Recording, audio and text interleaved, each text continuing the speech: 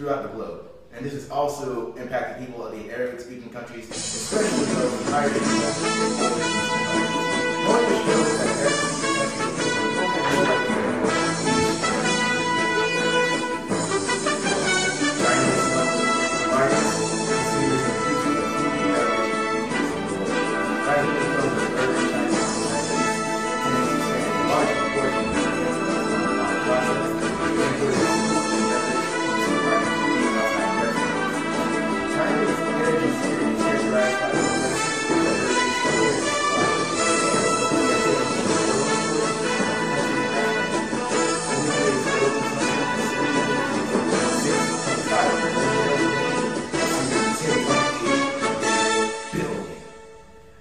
National oil companies dominate the oil and gas upstream and downstream sectors.